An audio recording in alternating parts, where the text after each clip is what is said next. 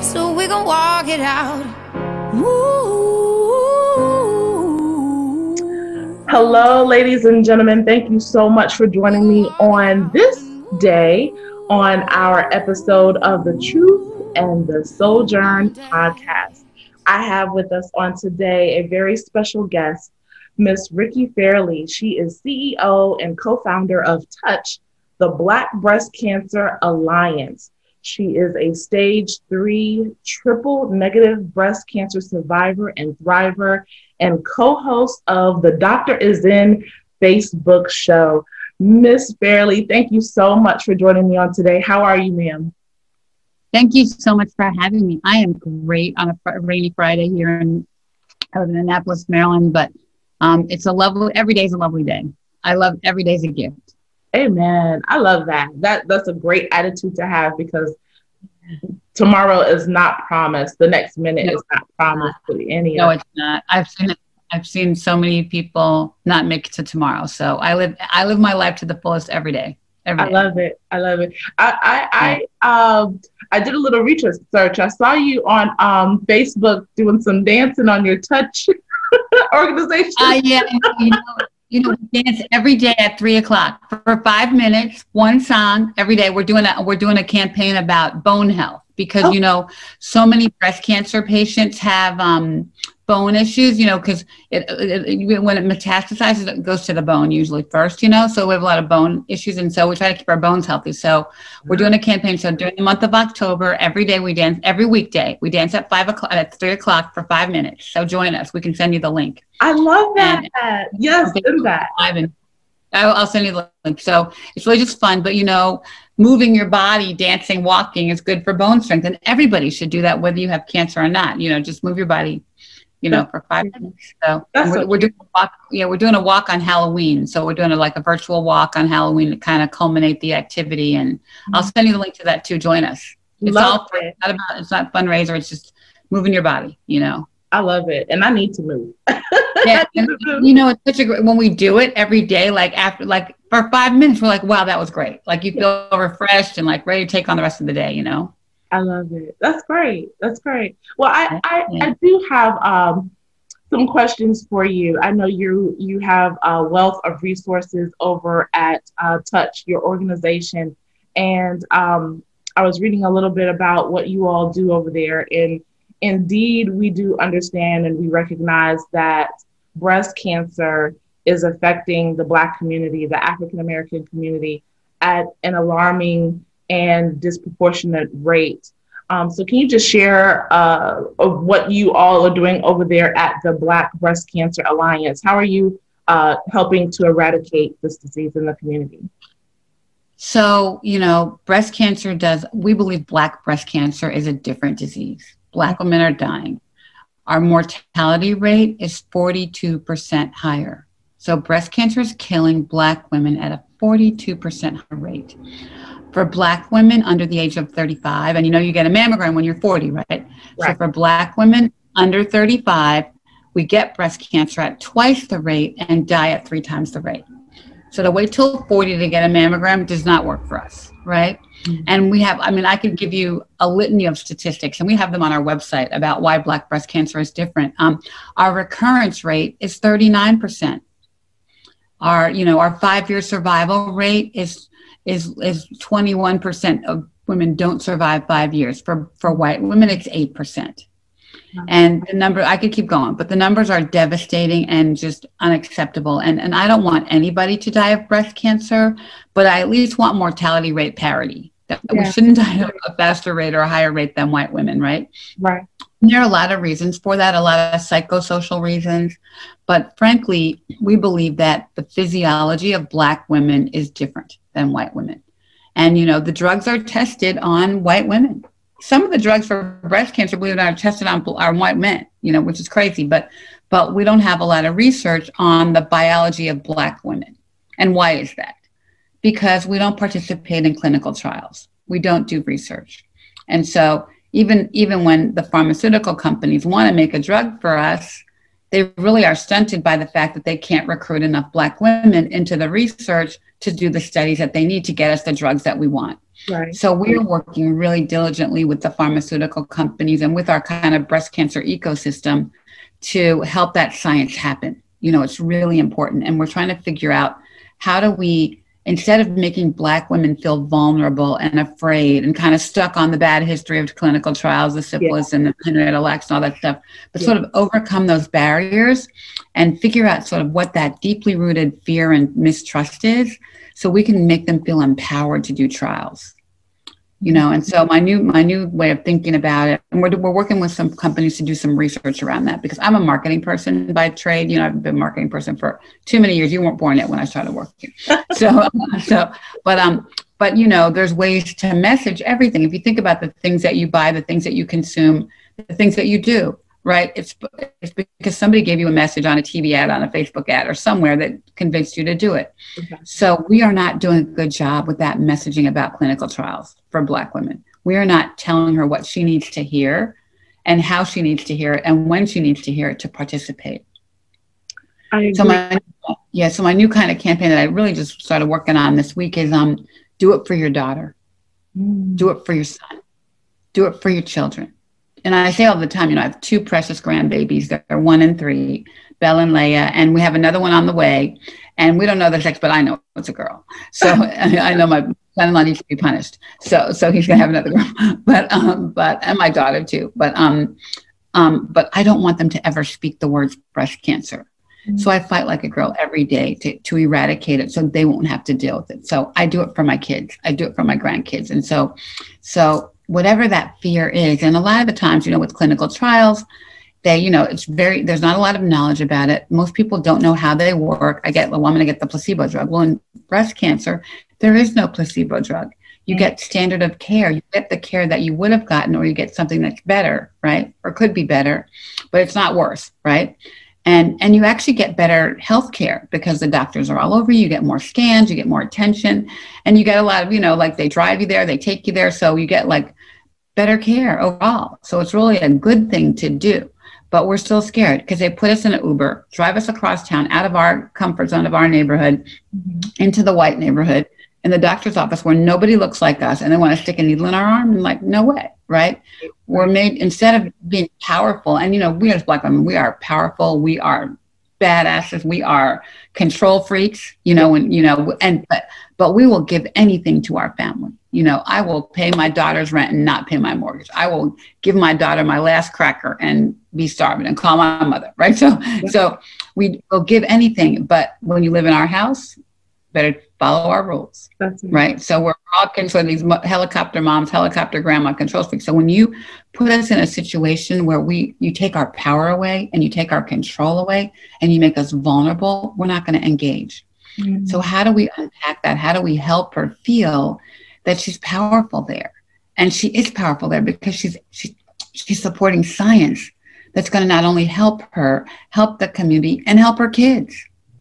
Mm-hmm. You know, we, you know, when the, when I got sick, my mom had had stage zero breast cancer, probably ten years before me, mm-hmm. and um, and it wasn't triple negative. And that's the other thing. You know, triple negative affects Black women at twice the rate. It's the highest mortality rate, the most fatal, the most aggressive, and Black women get it at twice the rate. So I'm like a walking blessing. I shouldn't be here. I know that God left me here to do this work, and that's why I do it. But but um, you know, we have to figure figure all of that out and figure out how to to make us feel powerful and and and do the work that we need to do to get the drugs that we need. Yes. That's what I, am working on. I love what you said, how do it for your daughter. Uh, yeah. It goes beyond us. And, um, you know, my, both of my grandmothers uh, passed away from cancer. Um, and so, you know, when you talk about uh, family history, medical history, um, even when uh, there isn't a, a uh, history of certain diseases in the family, um, it's still important for us as African Americans to uh, go get tested, to do self exams, because right, right. as you stated, you know, it just it affects us at a higher rate. Um, and I think a lot of times um, it's not just because of um, access to healthcare or access to uh, those doctors, but also information. Um, as you stated before, you know, we have to utilize, um, and this is my plug, we have to utilize the Black press um, um, more, more. We do. Um, and I'll tell a story about that. Yeah. Because we, we're reaching our, our community. Um, you know, yeah, when I got sick, my mom said, Oh my God, like I did this to you. Mm-hmm. And then my and my my oldest daughter said, Am I gonna get this? You know, but but one of the things that I find is that black people don't talk about health. You know, we don't talk about it we don't talk about it, you know, until somebody gets sick. Oh yeah, Grandma Pookie died of that, or Aunt Edith had that, right? So one of the things that we're doing, and um, we launched it last week. We're doing a program called Pink Table Talk. Mm. It's kind of a takeoff on Jada's Red Table Talk. Sorry, Jada. we're making it pink, and uh, yeah, here's my actually my little mug. Can you see it? I love um, but, that. But we're doing a campaign, and it's basically to put the breast cancer or the breast health conversation on the kitchen table if you think about it, in every black house, everybody's at the table. Now, when you have a party, everybody's in your kitchen, right? And all the stuff happens, you talk about the mortgage, you talk about the whatever, it's all at the kitchen table, right? So we want to bring conversation to the kitchen table in every household. And I want you know when when you're when a young woman wants to get birth control and she's ready to get me, she needs to be checking her breast and needs to understand like it's like brushing your teeth it's like combing your hair it's like getting your gynae checkup it's like getting your dental checkup check your breast and get into a routine of it so you know you're normal. Right. You know you're normal and and we talk about it. It's not hidden. It's not a secret. Mm-hmm. You know oh yeah she got the cancer that's down there. No no no. We want to put it on the table and get moms and grandmamas and aunties. And you know a lot of women get breast cancer from their dads. You know the BRCA gene could come from your dad like matthew knowles. You know matthew knowles we had him on the show, on my show a couple weeks ago. You know and he he had the BRCA gene it was a 50% chance of beyonce and solange getting it Mm-hmm. So so you never so it could come from anywhere in your family, but we need to be talking about that. Blood pressure, diabetes, your what's your A1C, what's your PSA, all that needs to be talked about. And so I want the breast health conversation to start young and and and be women just to know so that they knew they feel their you know they feel their my, my little big ones are bigger than the ones that tried to kill me but they feel them they know what they feel like so when something happens they know it's not normal and they can go to the doctor and fight for themselves because even a lot of times a young woman will go to the doctor and with a present with a lump and the doctor dismiss them. Oh you're too young. We're not going to give you a mammogram. You're fine. Come back in six months. Six months later they're metastatic. So we have to get people in a position where they feel comfortable talking about it and know what they know what you know everybody every woman knows her body better than anybody else. You look in the mirror you see you know you need to look and touch and feel. So so know that and talk about it and talk about it with your mom and talk about it with your kids. So it's like a common conversation. It's like a cold. It's like anything that we need to be talking about, right? And put on the table. So we did this program last week for on our Dr. Zinn show called Pink Table Talk, and we had a family. It was um, um a mom, her sister, and her daughter, and they talked about how when she first got sick, she told her daughter, but she didn't want to call her sons. And she made her, her daughter swear to secrecy that she was sick until she could figure it out. And we all kind of keep those secrets. And we, we talked about how the secret unfolded, but we had 86,000 views of that show.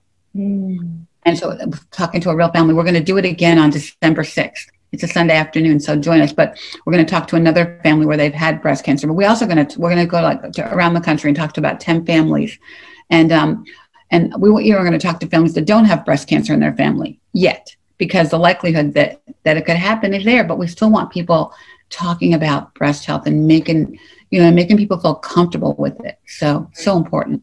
That's right. Knowledge is power. Knowledge yeah, knowledge is power.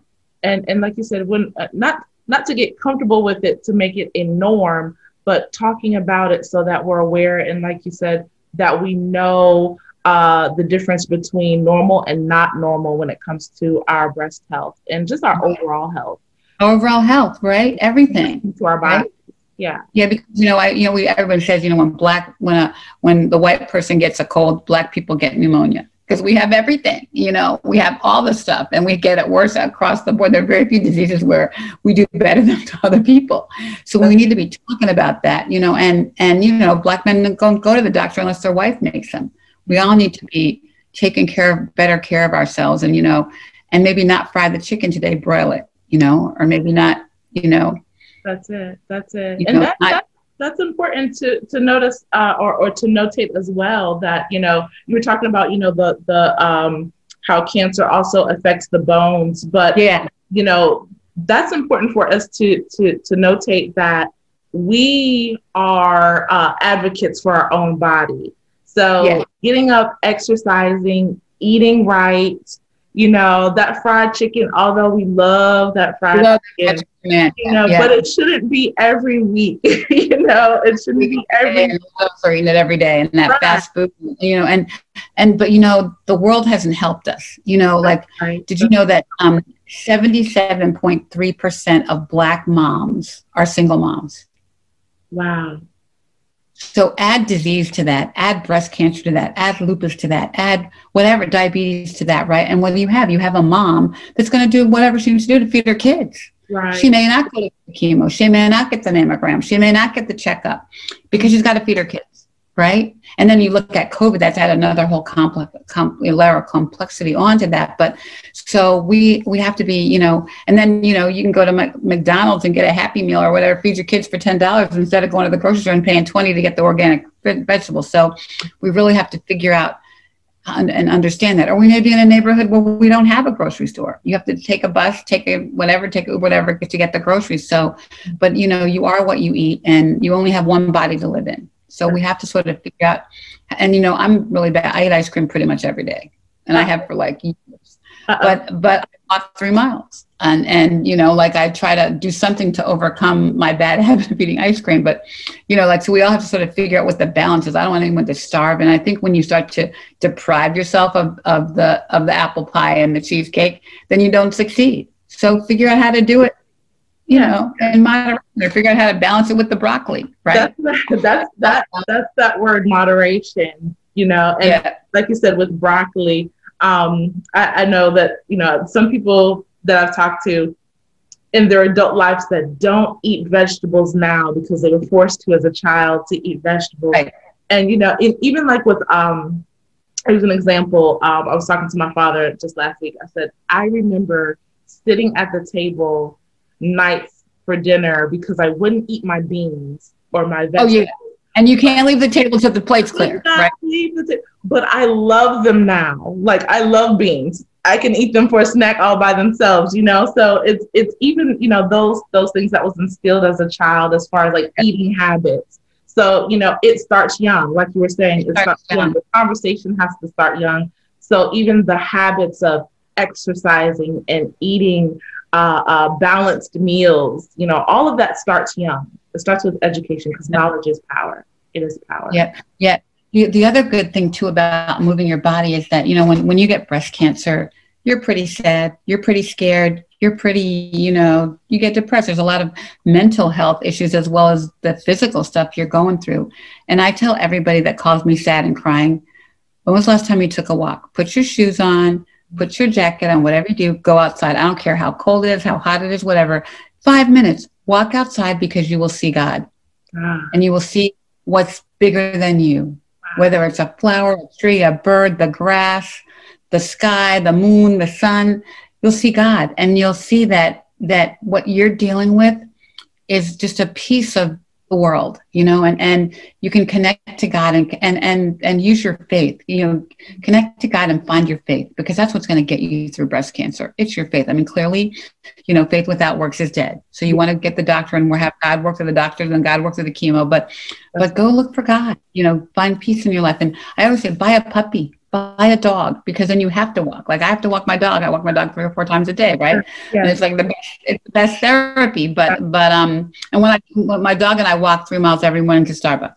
And so, mm-hmm. like today, it's raining. We couldn't walk, and she's looking at me like, "Why are we getting in the car?" Like she's confused, but like when we don't do the routine. But but I, I walk because it's good for me. But I also I like I try not used to use my phone when I'm walking, and I look at look at the trees and look at the flowers and look yeah. at the people, you know, and Take it, it just gives, it gives you a different perspective and you see that, you know, you see the miracles around you. So if these miracles happen, you can be cured of breast cancer. You can be cured of anything. I love you do the right thing.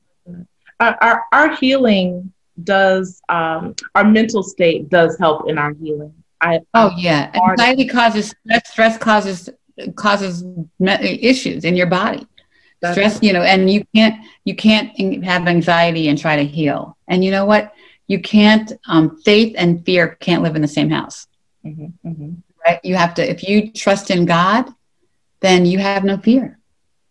That's right? Gotta, you got to relinquish. And when i was sick you know i remember one night i woke up at four in the morning and um and i was you know drugged out from chemo and i called one of my best friends who's like you know very spiritual. She's you know walks around with her bible the god party vet and she said and i said you know what i don't know what to pray for and she's like pray for healing damn it what's wrong with you and, and and you know but i knew in my spirit i couldn't pray for healing i had to pray for god's will to be done and i know that God knew what I was dealing with. I was sick. I had to put my daughter through college. You know, she was my motivation. I had to get her through college. She's a sophomore, and um, I had to pay for work to pay for her to go to school. And so, I knew that I had to relinquish my faith and and give my faith to God to get through this. It's like jumping off a cliff and saying, "Okay, we're gonna, you know, you know what I'm up against. You you're gonna get me to the bottom without crashing." You know, and and and I knew it was bigger than just praying for healing. I had to I had to say, "Okay, God, whatever you have for me."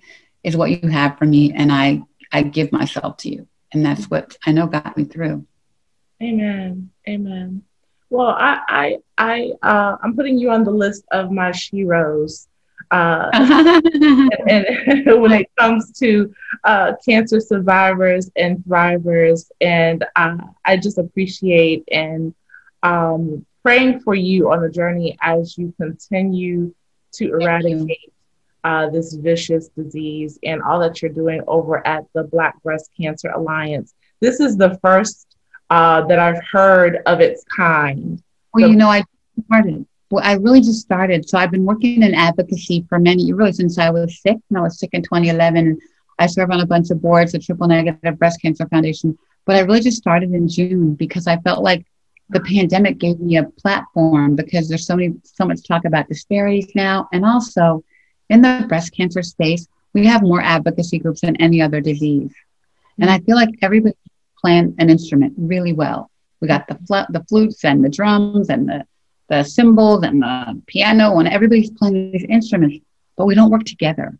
And I know that I can't solve this alone. One drug company can't solve this alone. One scientist can't solve this alone. That's right. One other group. So unless we like uh, become alliance, be, uh, become an alliance, and really be allies in this army, we're not going to get what we need done. So, so I'm really trying to do projects with everybody. Like I want to have a big sandbox, a big house. Everybody comes to my house, and we all work together to get us from point A to point B. So that was real, that's really my purpose, you know, because I know it's going to take way more than me to do this work. Mm-hmm. So I need my allies, I need my partners, I need my friends, and so everything we're doing, we're doing in partnership with other players, other people of our ecosystem. So we're also doing we're doing a Halloween walk and we're doing a, a really cool walk. So so what are you going to do on Black Friday? You're going to go to a mall? Um, I generally stay away from yeah, but, the malls but, on Black Friday, but more, yeah. even more this year because you know I, we're going to a mall. So yeah. so no is going to a mall. So we're going to do a walk, and I've now got 25 organizations all of the big breast cancer foundations, Komen and breastcancer.org and Living Beyond Breast Cancer and METAvivor, and we're all coming together as Breast Cancer United, and we're going to do a virtual walk. I love it. On um, Black I'll send you the information. We get it together, but we're going to walk for 11 o'clock Eastern time. Virtual walk, walk where you are. Matthew Knowles is our grandmaster, and we're just going to make a statement. And it's not a fundraiser. It's not about money. It's about making a statement to the world that we are allies in this army to fight this disease. I love it. I love it. Well, we we definitely are here at the Daily Drum, and we are here at the Truth and the Sojourn podcast to help you get the message out. So any and everything that we can do to be in alliance with you, right. we're here to help. Here right, come walk with us. Yeah, I'll send you the information. Yeah. I'll be walking, and I'll I will add Black Friday to a walking day, or as oh yeah, Black yeah, that's your walk day. Halloween and Black Friday, we're walking. Eleven o'clock Eastern time. We'll be on BlackDoctor.org live on Facebook Live, and we'll have a Zoom. And, and on Halloween, we're actually doing a dog walk, costume walk. So you could dress up your animal, your cute dog, your cute cat, your cute kid, your cute honey, whatever. That's and we're gonna and we're gonna do a thriller dance contest. So get your thriller on, and it's all about moving your body. That's fun. I love that. I love that. I said, um, I, I said that my dog this year is going as Black Panther. Like she, my dog's gonna be a cat this year.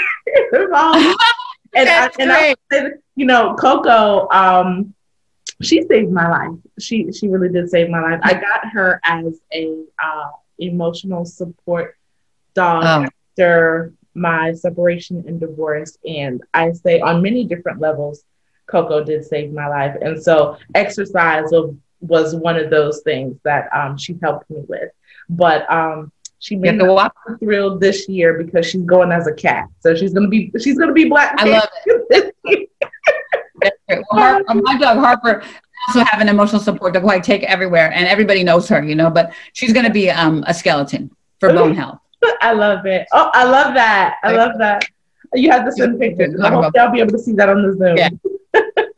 Yeah. Oh, Miss yeah. Bailey, thank yeah. you so much. Thank you so much for sharing with the Truth in the Sojourn podcast. Thank you so and this will not be our last uh, uh, uh, chat together. We definitely have to have you on. Anytime. Anytime.